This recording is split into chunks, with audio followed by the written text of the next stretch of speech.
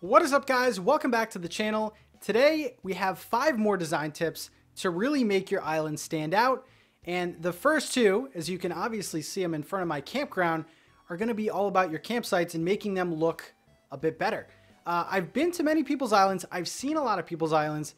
Honestly, they kind of get ignored. And it's kind of a shame because the campground is literally a showcase of your island for villagers that don't live there. So they come, check out your island, uh, and really get a feel for it. So I think that this is this should be an area that is heavily decorated. I think it's kind of like a reflection of your island. So the first two tips are going to deal with that. First tip is actually about 10 to 12 items that are at your disposal that you don't have yet. And those are the promotional Animal Crossing Pocket Camp items. So right here, and this is probably my favorite campground item, is this campsite sign. So I actually just put it in front of my campground um, and I'll tell you guys how to do that. So first of all, you need to have the Animal Crossing Pocket Camp free. It's a, it's a free game. It's not that great. I, I don't personally like it, but it is okay. So you basically have to download that, go to the app. There'll be a main menu in the bottom right corner, and there'll be an option for My Nintendo Rewards. So you just click on that, and you just claim your free Animal Crossing New Horizons items. Once you claim those items, they'll give you a download code, which you then put into your Nintendo eShop, just as like a normal game code or download code or anything like that. Put it in the eShop, and it will download onto your Switch. And next, you're to go to the Nook Stop inside Residential Services. Go to Nook Shopping, and there'll be uh, a new tab under Special Goods. If you hit R, at the top, there'll be new promotional items for you. You do have to spend your bells on them. You can only order up to five a day, but all these items are at your disposal. Look at this, Brake Tapper. Uh, it's kind of like a arcade game. Your campsite sign, which I mentioned before, probably my favorite thing, um, and alone is a reason to do this. Fortune cookie cart, there's some really fun decorations, marketplace decoration. I can definitely see that outside of like sort of like a common area or a market. Uh, you know, different signs. Like I really think like these little models here, I don't know what you can do with them, but yeah, they're there. Uh, a few clothing options. I really think this is kind of a hidden gem and, and they're free for you guys. So go claim them. All right, so we are back at my campsite. Tip number two is a bunch of little tips. It's just campground ideas just to make your campground a bit better. Uh, the first idea, which I think is really sneaky is these wooden stakes right here, or log stakes, I think they're called. So under your DIY, I think it's a pretty easy recipe to get. I think most people have them. Uh, they're called log stakes. They just take three pieces of wood. So super simple to make. Um, and I use them quite uh, generously. So I put them in between these cedar trees. And I just think it makes a really nice, almost like a natural fence. We'll see some of these details later, but towards the back, like I really just like the way that that looks. It gives it a lot of depth and really makes it kind of look like a full woods forest area. So I really like that. And also I customize a few to make little birch log stakes. And these are really nice near like white flowers, a bit more cedar trees. So yeah, those look really good. Um, so I'll just take you kind of through my campsite. Uh, my entrance right here You've already seen the sign, but this is a, a natural bridge right here. Just did some flowers, some of those birch log stakes on the left and right. Um, and then over here, this is kind of a sneaky idea too. Um, so this is just the wooden path. So let me go into island designer mode. Okay, so all this is, you have to buy these of course, but the wooden path. And all I did is two squares and it just, I like this a lot. It's it's a bit different. I haven't really seen this on too many people's islands, but it's a nice little walk up to the to the tent. Also, the campground looks a lot better with the tent. There just happens to be someone visiting me here. Um, this is just, uh, let me pull these up so you guys can see them.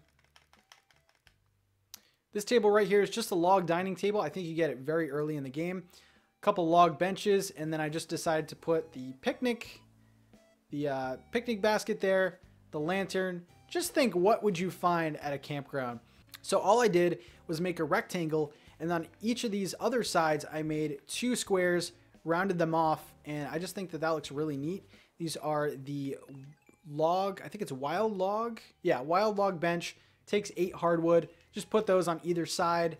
Put a little stone stool here with the radio. I think that that looks like a really cool thing. I got this random plastic container, which I wasn't too hot on before, but you know, a lot of campgrounds have like a giant jug of water to put the fire out. I don't know. It looked it looked pretty cool. I just have a random well here and then one of the swinging benches. I think that this looks solid. Um, sometimes less is more. I don't think this is crowded at all, but I think it came out really good. So maybe uh, some of these ideas you guys can use in your campground. All right, guys, so the next three tips have to do with design patterns. And the reason why I'm at Able Sisters shop right now is this is how you get them. So go to the Able Sisters shop. Uh, it's also important to know that you guys need to have a Nintendo Switch online account. So I think it's like $19.99 a year.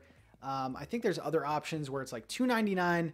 So when you are in the Able Sister shop, go to this kiosk here. And this is where it's going to ask you if you have a paid Nintendo Switch Online membership. I hope you guys do because these next three tips rely on this. So you're just going to go onto here and you are just going to put in either a creator ID or a design ID. Don't worry because while I'm doing these next three tips, I will have the creator codes on the screen for you guys, but just figured I would show you guys where to put in the ID codes because uh, I know some of you might ask. Now that you have that in mind, tip number three is a way to spruce up your beaches. This is adorable, guys. So I will put the code on the screen right now for you.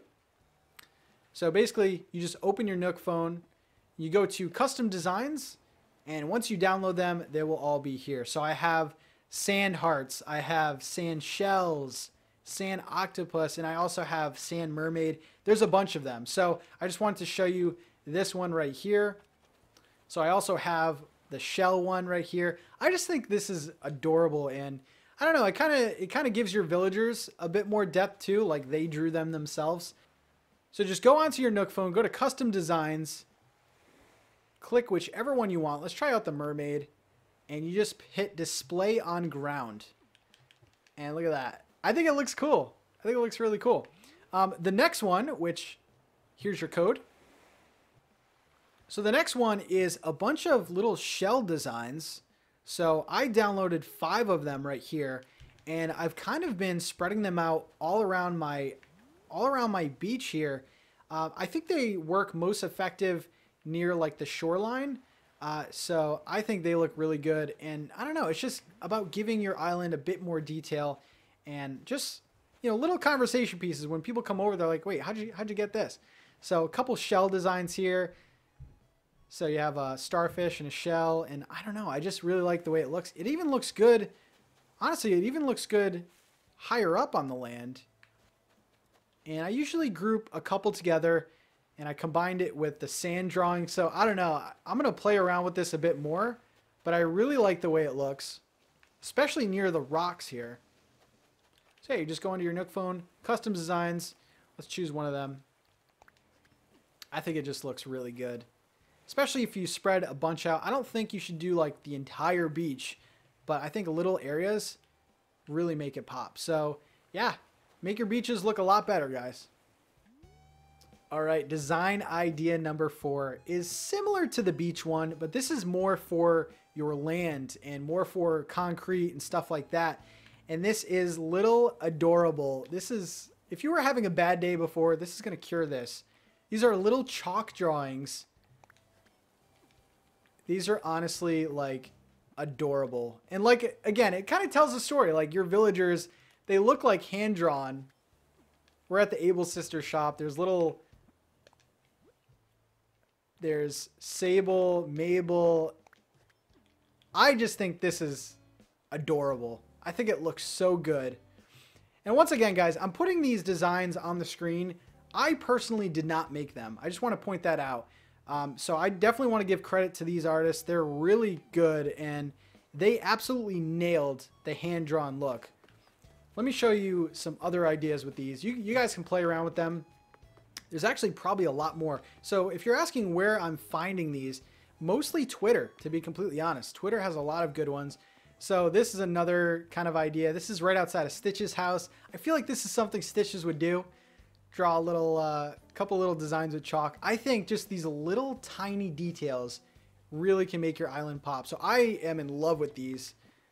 Let me see. I downloaded four. So yeah, Mabel, Sable, and then a rainbow one and Mr. Nook. So I think these look precious. Like there's probably a ton more that I haven't found yet, but these little chalk drawings, definitely my approval.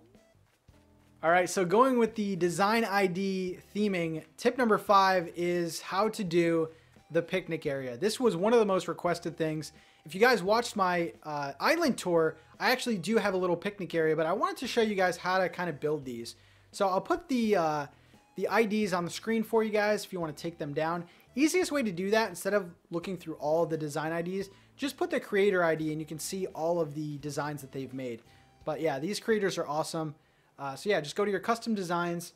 Now there'll be, this is three pieces.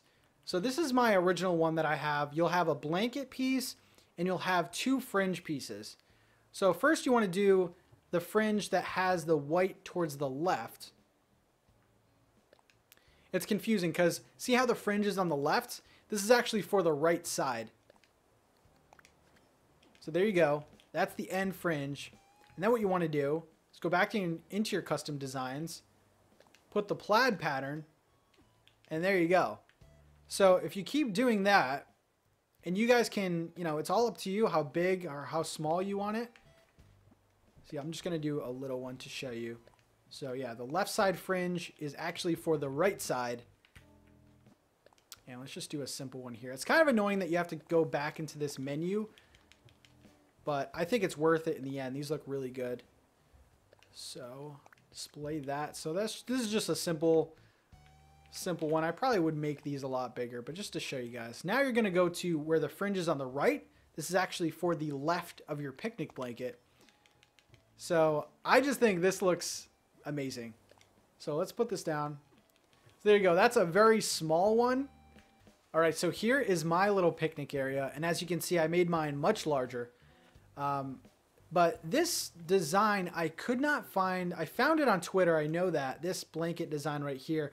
So unfortunately, I don't have the code, but I did provide you guys with this plaid one, the one that I showed you the demo of. Seriously, guys, if you look on Twitter and just type in Animal Crossing picnic blanket. You'll find a bunch of them. Um, and there's some really cool ones. But yeah, I mean, for this, I just put it near the water. I think it looks really good. A couple little details on here, like the picnic set. I think this is from the Cherry Blossom Festival. And then just a little radio, I think is just all you need. Um, and you can see, I mean, I can make this longer if I want, but this kind of looks like the appropriate size for me. Um, but I think this is a great way to make a little kind of chill spot. I mean, it, Mine's right near the waterfall. It's just a relaxing area. And I definitely think that this will make your island pop. All right, so there you have it. Five more design tips that will make your island really stand out. Thank you guys very much again for watching. Look at all these nice comments on the screen right here. I will see you in the next video. Have a good one.